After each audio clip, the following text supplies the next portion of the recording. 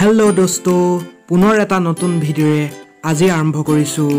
কেনেকৈ বজাৰৰ চাহ প্ৰস্তুত কৰা হয়? তাৰ বাবে আমি আজি গৈ আছোঁ কলিয়াপানী চাহ ফেক্টৰীলৈ।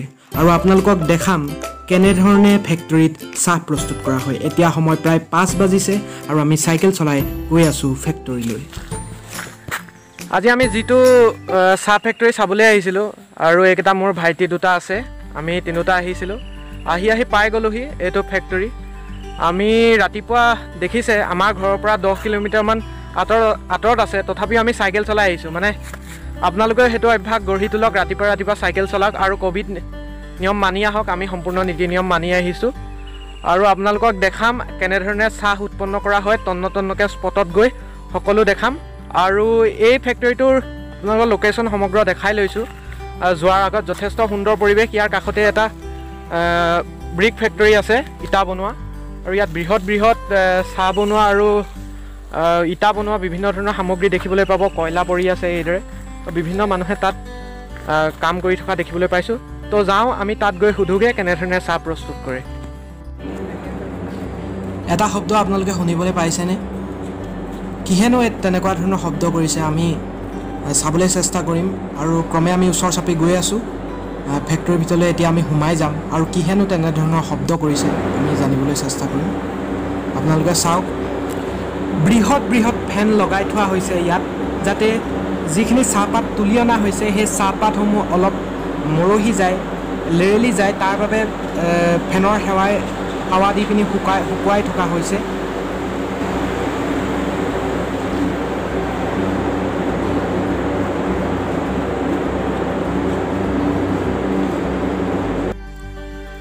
বাপৰে ইমান সোপা চাহ। হয়তো তিয়কৰ বহু অঞ্চলৰ পৰা ইয়াতে চাহসমূহ আহে আৰু এতিয়া আমি চেষ্টা কৰিম ইয়াৰ এজন কৰ্মচাৰীক এই গোটেই প্ৰক্ৰিয়াটোৰ বিষয়ে ফেনৰ সেৱা দিয়া হয়। ফেনৰ হাৱা দিয়ে। ফেনৰ সেৱা ভিতৰত তোমাৰ সেই তাত থকা চাহখিনি কি হয়? ক'লৈ আহে?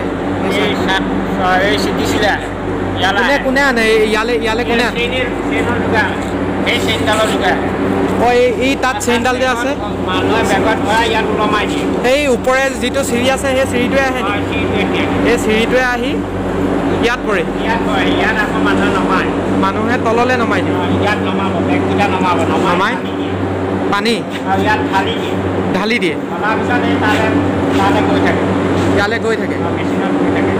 আৰু মেচিনত গৈ গৈ গৈ সেইদৰে এনেকৈ গৈয়ে থাকে। এইটো এইটো কিমান দিন লাগে? এই গোটেই প্ৰচেছটো এই মেচিনত গৈ থাকিবলৈ? লাগে। পৰা সেই তাৰ একদম গৰম সেৱা দিয়ালৈকে প্ৰায় দুঘণ্টামান লাগে। দুঘণ্টা। মানে চাহটো প্ৰস্তুত হওঁতে এনেই মিনিমাম কেঁচা পাতৰ পৰা আমি যিটো খোৱাবলৈ পেকেটিং কৰি উলিয়াই দিয়া কিমান সময়ৰ প্ৰয়োজন হয়? সময় লাগে দেই এইটো তিনি চাৰি ঘণ্টা লাগে। তিনি চাৰি ঘণ্টা। মানে আজি চাহখিনি আজি আবেলিলৈ পেকেটিং হৈ যাব। আজি যেতিয়া খুন্দিব নহয় অঁ। তাত যেতিয়া পৰিবগৈ তেতিয়া পৰা পেকেট হৈ যাব। পেকেট হৈ যাব। চালিব চাহটো চালিব চালি ভাগ ভাগ কোৱালিটি হ'ব নহয়। অঁ যিখিনি ডাঠ ডাঠ কোৱালিটি সেইখিনি ডি কোৱালিটি হয় চাগে। এইটো যিখিনি বেয়া সেইখিনি ছেকেণ্ডেৰী মাল বুলি কয় যিখিনি ভাল সেই প্ৰাইমেৰী মাল। তাৰে এক নম্বৰত পৰে সেইটো। আপোনালোকৰ এই ফেক্টৰীটোৰ নামটো কি?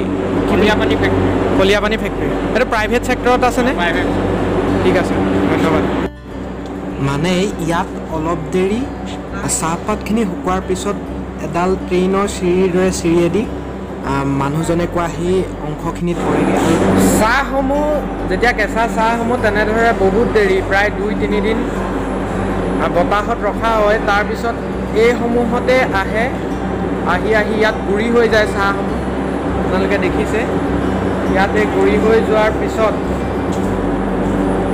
এইদৰে আহি আহি গুড়ি চাহসমূহ পৰেহি ইয়াত। আপোনালোকে দেখিব।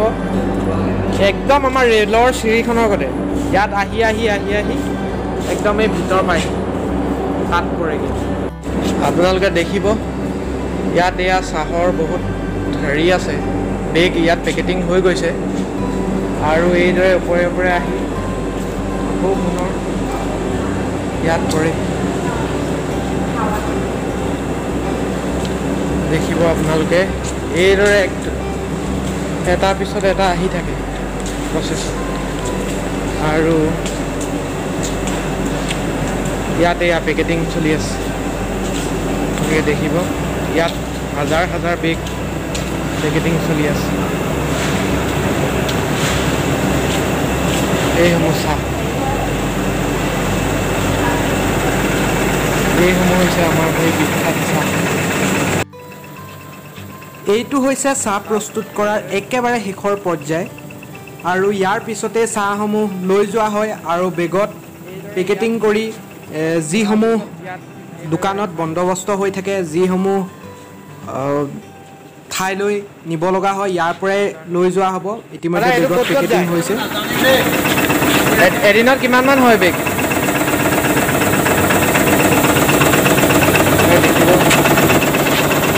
মেচিনটো চব।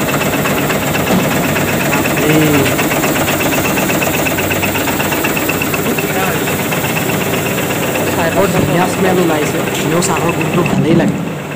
মই পিছে লৈ যাম আজি ঘৰলৈ কেই কেজিমান খাবৰ বাবে। যিটো ভাল চাহ ভাল চাহটোৰ দাম তিনিশ টকা বুলি কৈছে তেওঁলোকে। আৰু বহুতো কোৱালিটি আছে চাহৰ। বহুতকেইটা কোৱালিটি থাকে এ বি চি ডি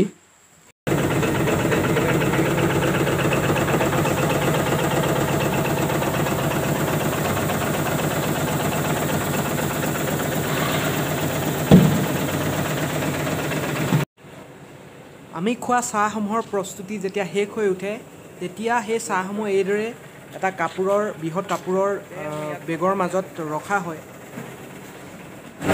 আৰু বহুতো চেম্পুল আছে। চাহৰ বহুত চেম্পুল আছে সেই চেম্পুলবিলাকৰ মতে ইয়াৰ দামসমূহ বেলেগ বেলেগ হয়। আৰু হাইষ্টটোৰ দাম প্ৰায় চাৰে তিনিশমান হয় আপোনালোকে দেখিব। এইফালে।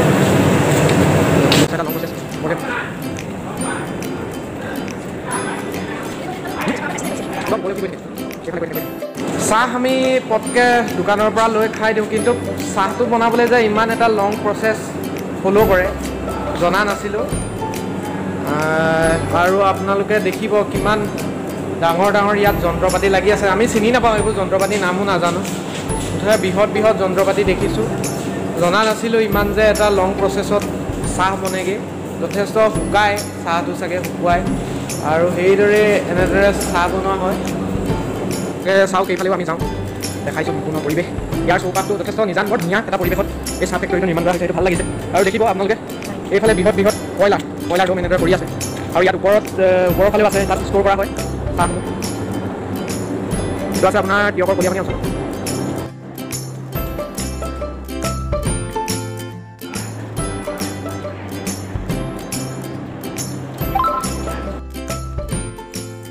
বন্ধুসকল এই ফেক্টৰীটো হৈছে দুমহলীয়া গতিকে আমি এতিয়া ওপৰলৈ যাম।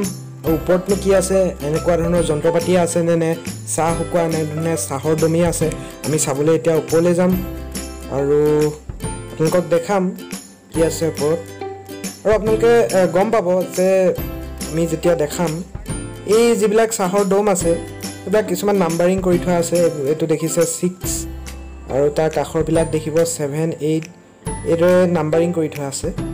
টোটেল আমি নাম্বাৰিং দহটা দেখিছিলোঁ দহৰলৈকে। মানে দহটা এনেকুৱা ধৰণৰ দম ইয়াত ৰাখিব পাৰি একে সময়তে। আৰু সিমান পৰিমাণৰ চাহে একেবাৰতে শুকুৱাব পাৰি। ঘণ্টামান লাগেনে? ছঘণ্টামান। এইটো ঠাণ্ডা হাৱা নে গৰম হাৱা? গৰম হাৱা দিয়া।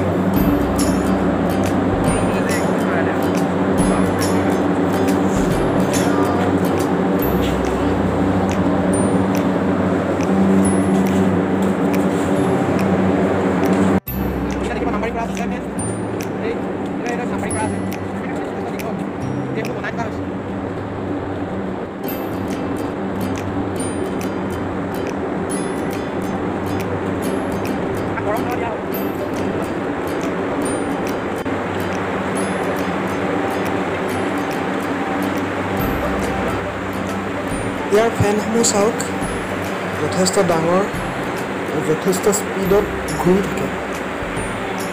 আৰু তললৈ আপোনালোকক দেখাম তলত এটা দেখিব জুই জ্বলি আছে কয়লা ইয়াত দি ৰখা হয়। আৰু এই ফৰ্চটো দিয়ে ফেনবিলাক। ঘূৰোতে আৰু এটা মটৰ আছে।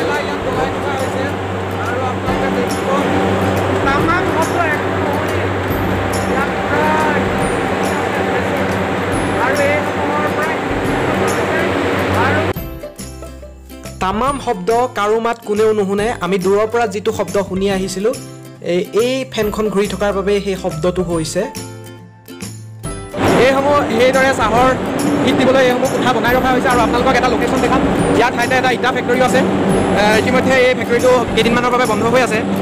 উপযুক্ত শ্ৰমিক নথকাৰ বাবে ক'ভিড নাইণ্টিন হৈ থকাৰ কাৰণে শ্ৰমিকসমূহ আহিবলৈ ইচ্ছা কৰা নাই গতিকে বন্ধ হৈ আছে। তথাপিও যথেষ্ট লাখ লাখ ইটা প্ৰডাকশ্যন কৰি তেওঁলোকে ৰাখি থৈছে ষ্টকত। আৰু আপোনালোকে যদি দেখে চাৰিওফালৰ পৰিৱেশ দেখাইছোঁ যথেষ্ট এটা ধুনীয়া পৰিৱেশ। ইয়াত আছে আমি এতিয়া ওপৰ মহলত আছোঁ চাহ ফেক্টৰী আৰু ইয়াৰ পৰা চাহসমূহ তেওঁলোকে তলৰ ফেক্টৰীলৈ